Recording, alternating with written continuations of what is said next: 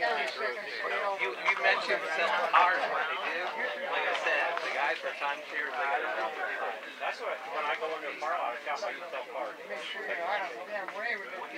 just count them, I just pay car sales. and- Oh, when you go to buy. Wait now. I get that look when they're paying. Say hi, Lori. Happy Thanksgiving. Oh yeah. Gosh, those guys, I, I worked for, uh, this guy had a, Double eggs. right next to us were the used car guys. And we had a rule that if they were Especially if it's later. Because I've seen some very long, Yeah, these drones go past I lived in Florida for a while. They would just that one, just a few hundred bucks. I sell one every Saturday. That's a lot easier. Bring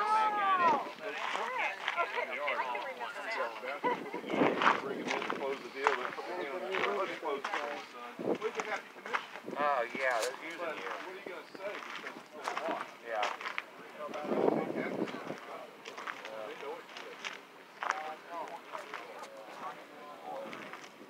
They had a whole lot of, these kind of vans, just, you know, like, camper van things, you know, how GMC used to do those, uh, Astro vans. Don't they like the conversion van? Yeah, they had a van in the back. Happy Thanksgiving, everyone.